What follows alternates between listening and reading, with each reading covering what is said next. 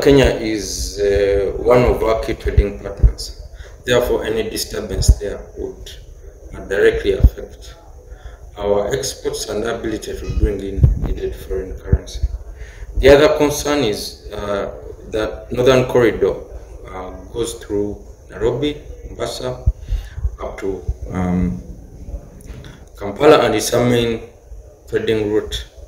Therefore, any disturbance of the sort that we are seeing is likely to negatively impact on trade between both countries. So we hope that this will be resolved soon uh, by political means because it's a political misunderstanding between Kenyans themselves. So we hope that they can sit and resolve it because at the end of the day it will negatively affect uh, not just Kenya but Uganda. It will certainly have adverse implication uh, to the East African community as, as a region, but also Kenya as a nation, recalling that uh, Kenyan economy uh, of late really has been, uh, this financial has been largely limping.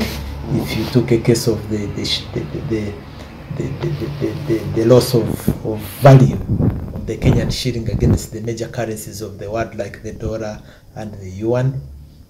And um, of course, then it means that uh, tourism revenues are going to, to simply uh, plummet because uh, tourists cannot go to destinations that are characterized by, by chaos.